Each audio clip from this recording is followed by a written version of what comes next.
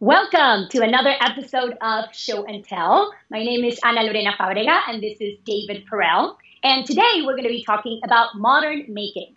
Full disclosure, I wanted to call this episode the word processing revolution. And David it was the geekiest thing I've ever the said. The word and processing revolution was the worst. I, I, I need to learn how to pick my battles. So. It was like Thing it was like what you saw on the cover of Time magazine in 1994. Well, anyway, we're going for modern making. Okay, so today we're going to be talking about creative uses of technology that help us learn and produce content. Um, David, let's start with the most important thing show and tell. What is your item for today? Real quick, say your name. Ana Lorena Fabrega. You, it has like so much flow. It's like if you had a name, Ana Lorena Fabrega has like that. That's like that's like you. Right? Exactly. Ana Lorena. Well, here's the thing. In my family, we're three Anas. My sister's called Ana Gabriela. My mom is called Ana Rosa. I know, very original. So we have to use our, our middle names. Mine is Ana Lorena. Ah, I remember I made that mistake, and you were like, "Nope, Ana Lorena." Okay, so Exactly. this this is called Show and tell. inspiration. Okay, this is my show and tell item, and so this was my very first introduction into into how to develop ideas by like drawing them out. So this was a software tool, and unfortunately, it was for people who couldn't write, and so they gave this to me. But then I actually did better with it. So look on the back, like you can see, it's sort of like playful, and so they have like, so like you Uh-huh. basically you draw out your ideas, and so this was like, I think my first introduction into see what you would do is you would draw things with symbols and images, and then it would create an outline for you automatically. And back in the heyday, I mean, this was made in probably 2004. This was like this was a big deal. Like it says, for example, 640 by 480 display, which is now like two, yeah, 2005, which is now like less than high definition, way less. And this was like really cool. Look, here it says inspiration for Palm OS. Like that's way gone. Oh. So this was like the first computer program I ever used to actually make ideas. And it was called Inspiration. Ah, very cool. Very cool. I like that. Well, I brought something more basic, but my explanation kind of makes up for my item.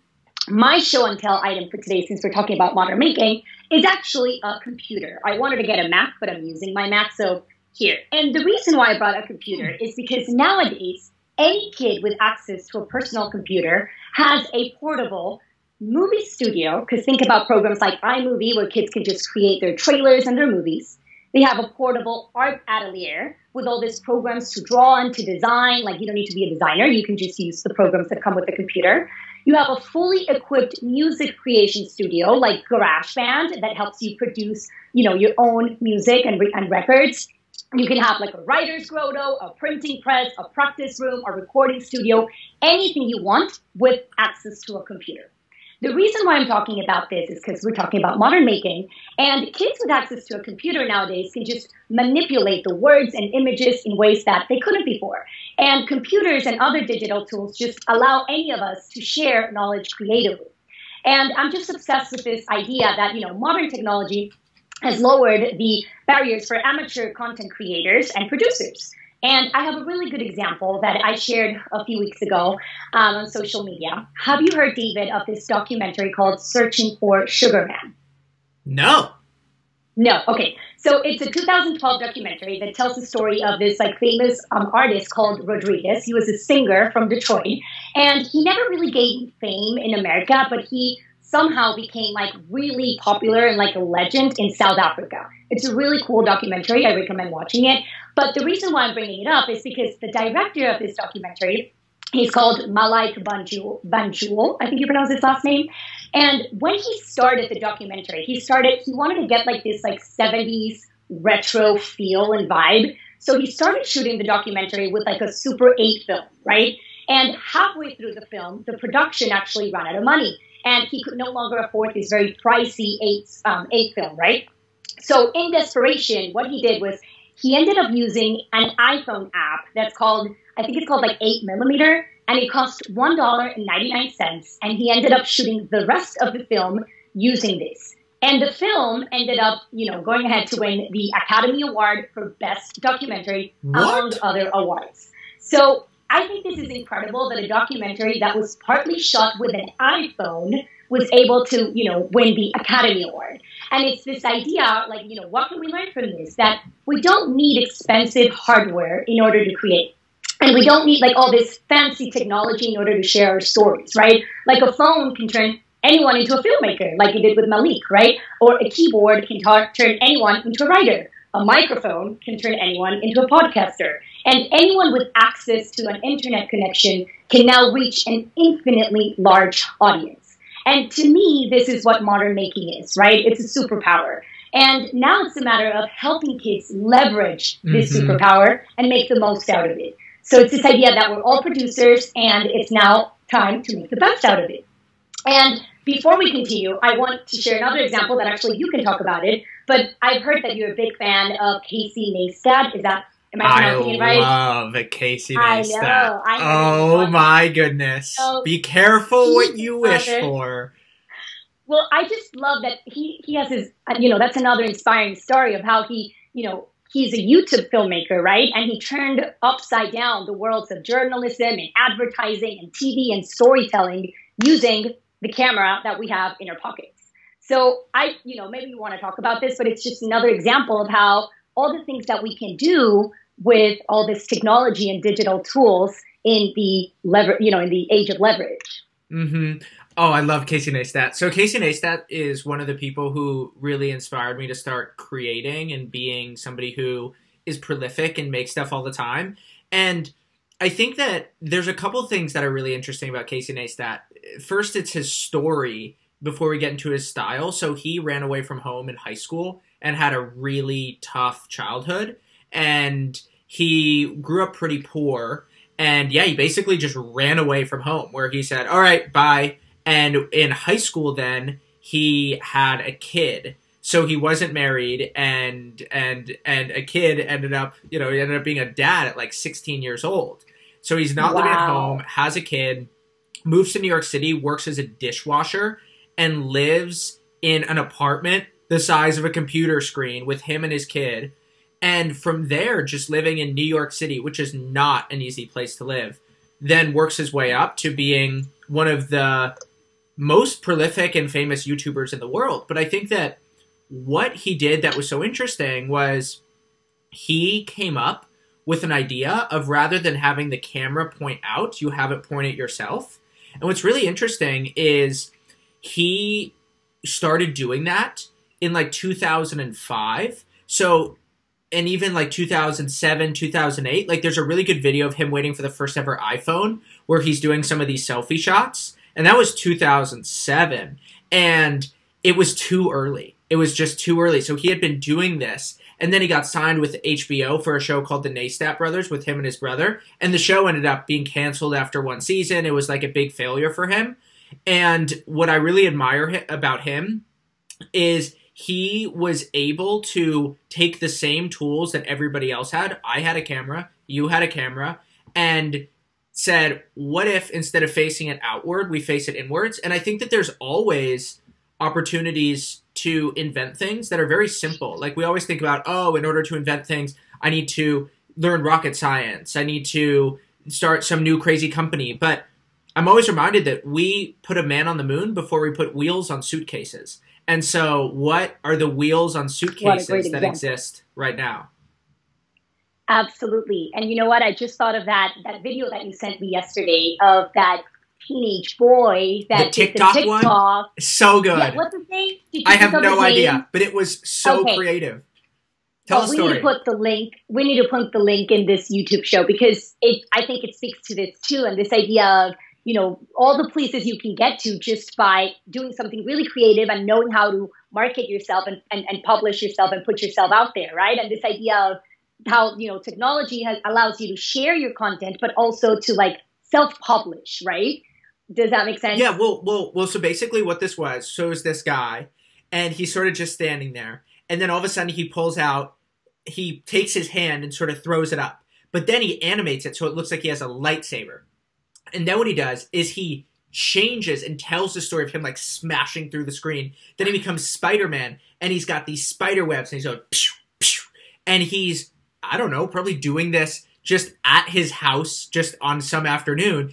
And it's so creative. In 20 seconds, he jumps between five, six different Disney Marvel characters. But then, I don't know if you saw this, because I always say the internet allows you to attract people who you'd never uh, otherwise be able to meet.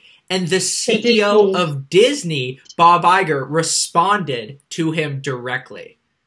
I know. He said, please help me publish this. Hopefully we'll get to, you know, a shout out from Disney or something like that. And it happened in less than 12 hours. I thought that was incredible. And that it, you know, it's a great example for what we're talking about today, right? Wait, have I have I told you my TikTok theory of culture? No, but please go ahead. Oh God. Okay. Drum roll, please. Okay, so so basically, in the 1960s or so, what happened was like if you look at the number of people, let's go to 1950s, the number of people at the beginning of the decade who had a television and the number of people who had a television at the end, huge difference. And like in mm. right after World War II, people didn't have TVs, right? World War II was a war that you read about. The Vietnam War was a war that you watched on television. So between in that 20 year period, a little bit less, something transformative happened. And what happened was TVs became very cheap, and all of a sudden people started to get them, started to get them. And what I see with my parents and with a lot of boomers is they grew up with this idea that you could consume something from anywhere in the world. And that the war, the Vietnam War, the reason why there were such bad protests against it, at least one of them, was that the war was brought into people's living rooms and there were times where things were just too graphic and they were just like, wow, like that really influences our experience of what it of how we think about war because before we had seen them in newspapers and it didn't have that emotional tenor that just punches mm-hmm. you in the mm-hmm. gut. And so mm-hmm. we had an entire generation of people who consumed things globally, consumed video globally. But until recently, we didn't have the same aspect of production, where it wasn't natural for people to grow up knowing that they could produce things for the entire world. And I think that that changed with TikTok. I think that what TikTok did, because also you have to know about the algorithm of TikTok. Most social media platforms are based on who you follow. So on Instagram, somebody follows you on Twitter, somebody follows you, but there's some potential for virality. There's some potential for virality on YouTube, but it still has a lot to do with how many subscribers you have and stuff like that. TikTok, the follow mechanism is very low. So the algorithmic feed takes over, and on your very first post, it pops. That's how they've designed the algorithm. So now I was playing golf in December in Florida and I was playing with a high school English teacher. And we are on the 16th hole. It was about 7:15 at night. There were these two girls, nine and 11 years old. They were running around in tie dye shirts. I was like, "What are these girls doing?" And he was the English teacher, and he said they're making TikTok videos. And it hit me in that moment that just like the Vietnam War gave people the sense that you could consume something from everywhere, now we're getting that with production. And so it leads into this modern making where we're not even encouraging people to become global makers. It's happening naturally in how mm-hmm. we're raising a generation with these new tools and technologies. Mm, I like that. And you call that the TikTok theory. Yeah, I guess. And I like that, you know, and, and, and it's that same idea, you know, that just made me think of how also like with, you know, the same idea is, is happening, like how modern making is also transforming the record business. And you know independent artists now are devouring the recorded music industry. And i love how they call them like the diy artists. So like the you know do it your your own or your way artists and of course one of the examples i'm going to bring up is bad bunny right? Um, who are just taking you know it's just incredible how bad bunny. you don't, don't you love bad bunny I, I, I do. I love his music. I don't like that he curses a lot, but I do love the vibe of his songs. I love what he's created and how he's just united so many people in Puerto Rico. I think he is sing incredible. One. But anyway, huh? No, sing I'm not going to sing one. Hey, I'm telling you, the words that he uses are not appropriate. So absolutely not. But I'm just talking about like the vibe. And anyway, Um, he's an example of artists who, you know, write their music and control their own music and their distribution in platforms like YouTube, right? So a lot of his success, and, and there are other artists like this, it's mostly his own. So he started like posting music on SoundCloud around I think it was 2016. And he was like singing and rapping only in Spanish, like these Puerto Rican songs. And he now has billions of streams on platforms like YouTube and Spotify and a Grammy nomination for a Record of the Year.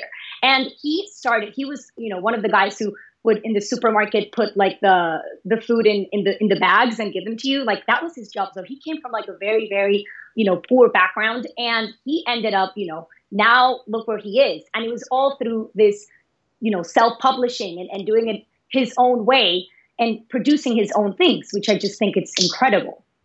Yeah, when we were in high school, we had this guy who went to my school. His name was G Jones, and he used to play for for all of us because I went to this high school, and every morning, everyone in the school got together and we watched someone do a public speech. So you could be a presenter and you would speak to the entire school. It's like 350 people. And there's this guy named Greg Jones who would he would play his music, electronic music. It was like very sort of hard electronic music, almost like even like Metallica y in a sense, but then it also had like these beautiful sort of like synth waves and then like big bass. It was like extreme music, especially for like, hey, it's eight o'clock in the, in the morning at high school. And now he played and we were all like, you know, it's just this guy. He was really into it. And now he is, he, he headlines it at he's headlined at music festivals that I've been to. G Jones and plays is like very close with Bassnectar, who's like a big name in the electronic music scene, and is really cool just watching people go from that high school hobby to actually being somebody. And all these people, or many of these people who do it, they they they have these internet hobbies where they just sort of do it in their bedrooms when they're just hanging out, and all of a sudden it blows up into something.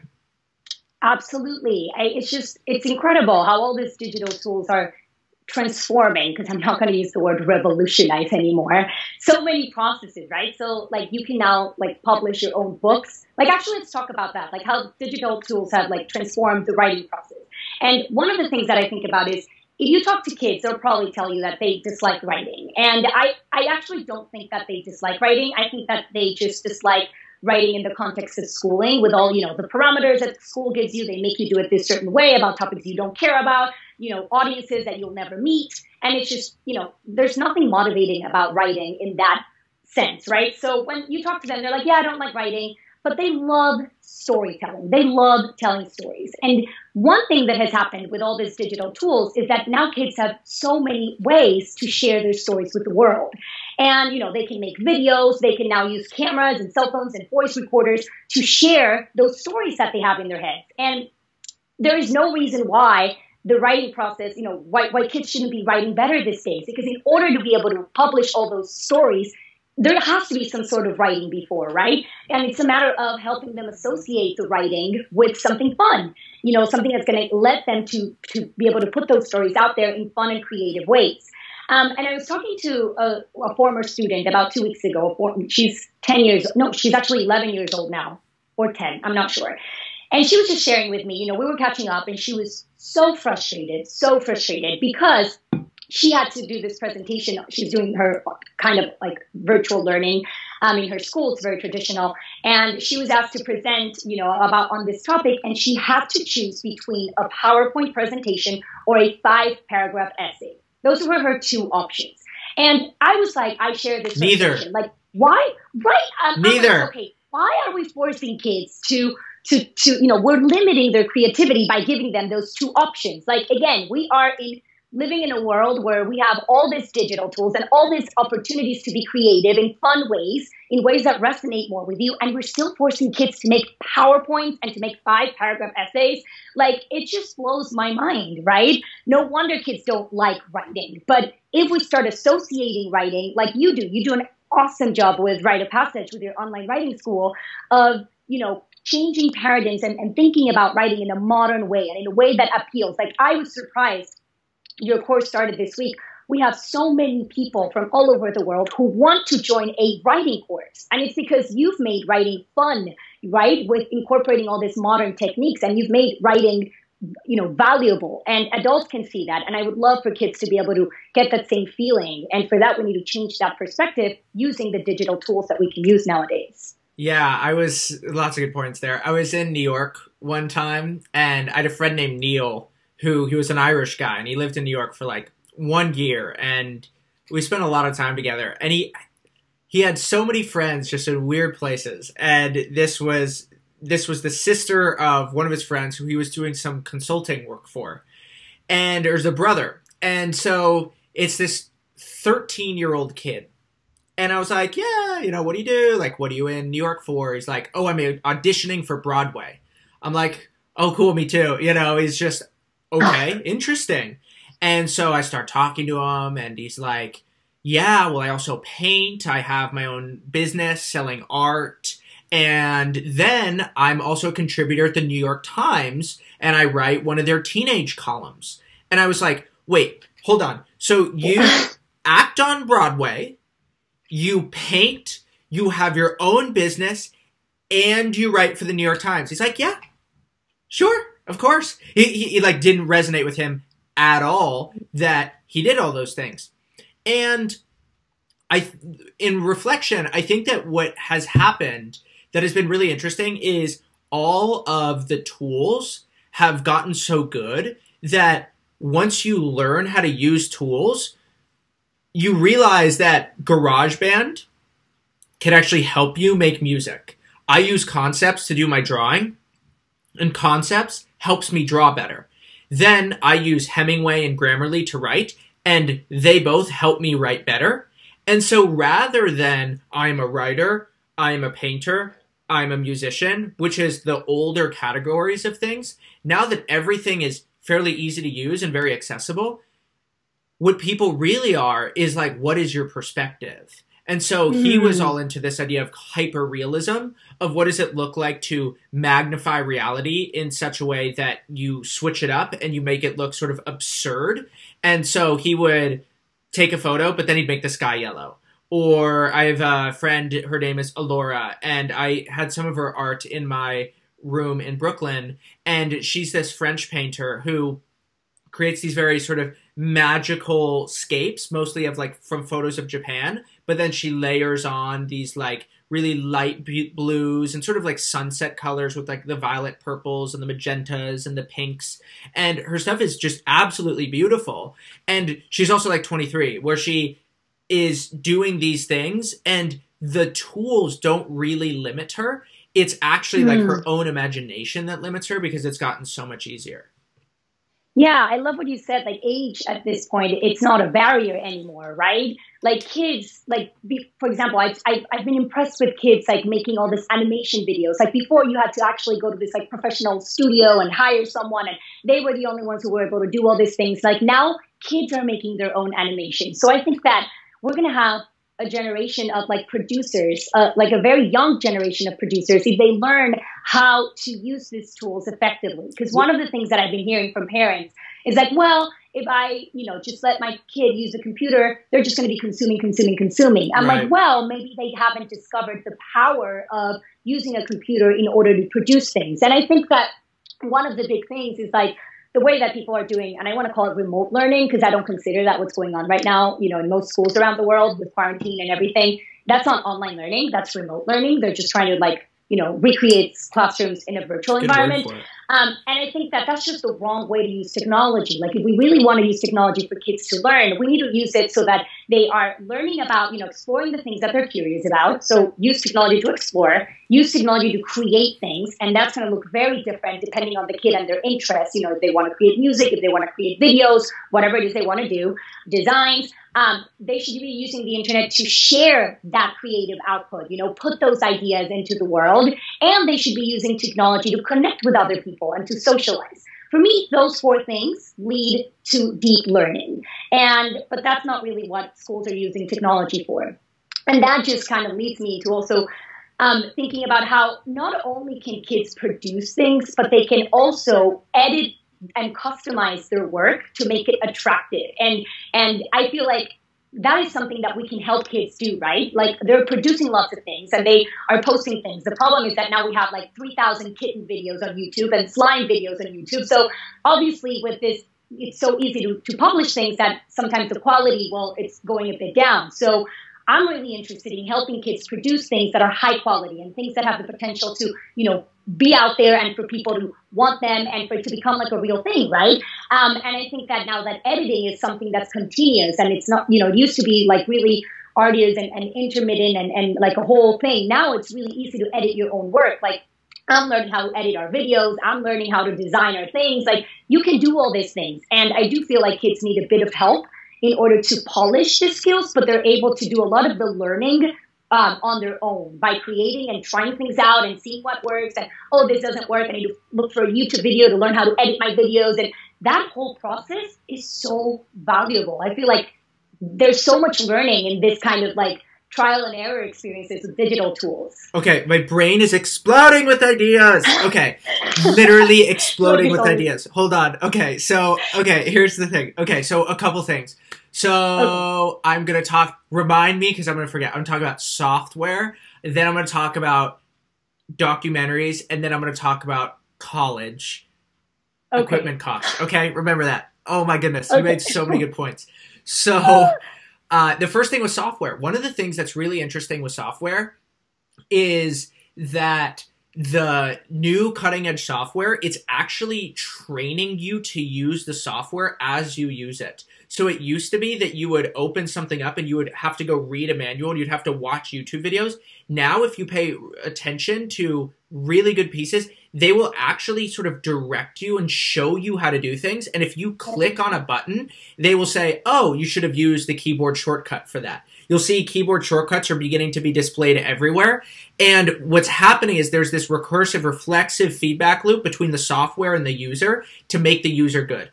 First thing, done. Second thing, our friend Tiago uh, Forte, who is my business partner, he just made a documentary about his dad, and he did it all by himself. So he took his iPhone and interviewed his dad, got a very simple lapel mic, and made the entire documentary.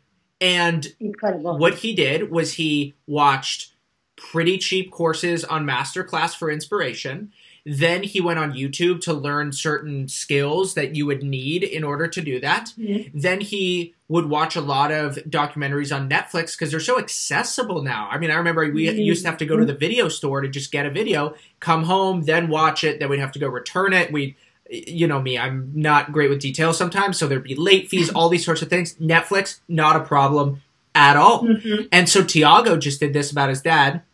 Second thing down, third thing to go. And college in college, thank you. What was really interesting was there were these huge fees that you would get when you took out equipment. So I was doing college television, and I always say, on a, I had the best college communications education, just the best oh, for wow. 1995. It was 21 years behind. I mean, it I was, was, like, made doesn't sound right here for another world that just doesn't exist. And it was really interesting because I did college television at the very high level with teleprompters and professional cameras and high end zoom and all these crazy lights. And then when I would go and I would rent out equipment, the fees were insane. I mean, like what I was holding in my hands was thousands of dollars. And if I returned it late, $80 fee. And for a college kid, that was a huge deal. And now, when that we make this YouTube video, open up Skype, get some very simple equipment, get it going, and you just don't need all of those things anymore. incredible. Incredible. And well that made me think about one more thing. I'm going to share an example. Um, are you familiar with the hole in the wall project? No.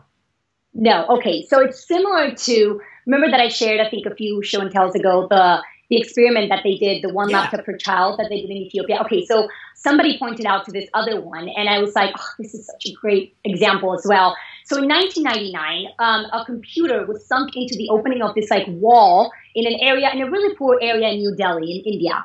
And the screen was visible to like from the street and to anyone who walked by right? Anyone could use it. And it had access to the internet and he had like a number of programs, but it did not have any instructions. So similar to the one of um, the experiment done in Ethiopia, but this was done in 1999. Okay, the, the Ethiopia experiment was done in 2012. So the moment that they put the, the, the computer there, a bunch of kids from like this, you know, area, this really poor area came running and they started to click and explore. They obviously had never seen a computer before. They hadn't been through any kind of schooling and they were illiterate. And after a few hours, they started surfing the web. And again, one computer, a bunch of kids. And certain common observations happened because then they duplicated this experiment in other parts in India and they saw the same kind of results, right? So what happened was that one kid did an accidental discovery. And look, and I want you to think of like how, how they're learning and how this learning looks very different from the learning that's teacher directed in school. Okay, here there's no adults, only the kids. So one kid would start playing around because they would have to take turns and would make an accidental discovery. And then this kid would start to, like other kids would start to repeat that same discovery in the, and, and kind of like discover other things in the process and make other discoveries. And they would start to actually create a vocabulary to describe what they were doing. And their vocabulary is very different from the terms that we use today when we're using a computer, but they would coin their own terms. Then that vocabulary would encourage them to actually um, to sort of like perceive like different generalizations, such as like, oh, when you click on the hand, you know how there's like a shaped cursor and it starts to go like round, like the hourglass shape mm-hmm. for a mm-hmm. while, and then like a new page would come up. So they would start to make these generalizations and communicate it to the other kids. And then they would start to memorize the procedures for doing things. And then when another kid would have a turn, they would practice what the other kid had discovered. They would discover something else. And then when they would find shortcuts to do something faster, they would teach it to the others. Mm. And one thing that they saw is that kids naturally have this intuition to share and to teach others what they're learning. So no teacher, and they were all learning how to use a computer. And it did get to a point where, um, like, there were no further discoveries, right? And at this point, intervention is required. And here, I love, I'm going to pause really quickly because this is also an example of how a teacher maybe it's not, you know, doesn't have to intervene as much, but at one point, the teacher's role is really crucial, which is when the kids are no longer making any new discoveries, you kind of like pop in and you you know, point something out so that they can continue making discoveries. So the way it would look here is that suddenly, like, somebody crossing the street, an adult would approach and say, Oh, did you know that you can play music with computers? And they would show them and walk away. And then suddenly they were like, okay, a new cycle would begin of new discoveries and new discoveries. And it got to the point where, you know, such minimal interventions from adults made them, uh, you know, discover all this, these things. And they were all, the, the kids just seemed to learn how to use a computer without any assistance. And one of the things they realized that when working in groups, like kids don't need to be taught how to use a computer. Like they can teach themselves. And this ability seems to just be, regardless of any educational background that they have, or any literacy level, or any social economic status or ethnicity. Like they just have this intuition to know how to use technology and to start playing around with it. And they were able to figure out how to work a computer without a teacher. So to me, this is an example of all the things that kids can learn on their own um, with the technology, right? And then having adults kind of like to provide that access and to guide when new discoveries need to be made and to kind of like provide those resources and that space to explore. And I just loved that example. That's beautiful. Mm-hmm. That's beautiful. The essence of the word processing revolution. Thank you so much. Can we totally change the name for this episode?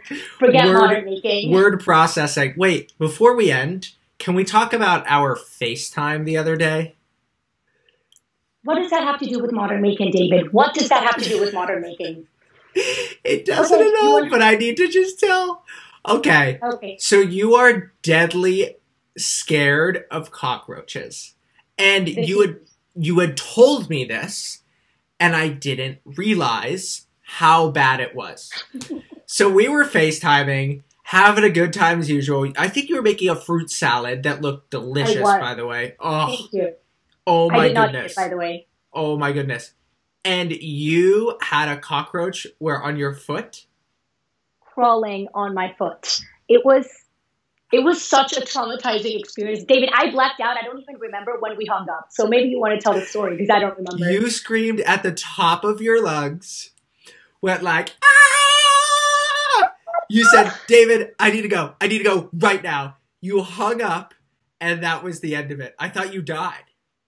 No, seriously, if I if there are any former students of mine watching this video, which I know some of them do because they comment on my videos, they are probably laughing right now because we had so many, so many episodes in my room, in my classroom with cockroaches and me losing my mind. Anyway, they can actually, if you're listening, you can go ahead and comment some of those stories in this video. Terrifying. I don't know why we brought this up. It's about modern making, so let's wrap this up. but anyway, this is a great chat, David. I loved it. Modern making, creative uses of technology. And you know what? Before we finish, I hope that, you know, parents that are home right now and figuring out like, well, what can my kids do? We talked about different programs here that they can explore. And remember that just by exploring and learning how to use these programs, they're actually learning and they can use it to produce those wonderful ideas that they're already having. Totally. I couldn't have said it any better myself. So We'll talk next. Show and tell. Show and tell. Show and tell. I'm excited for a new logo too.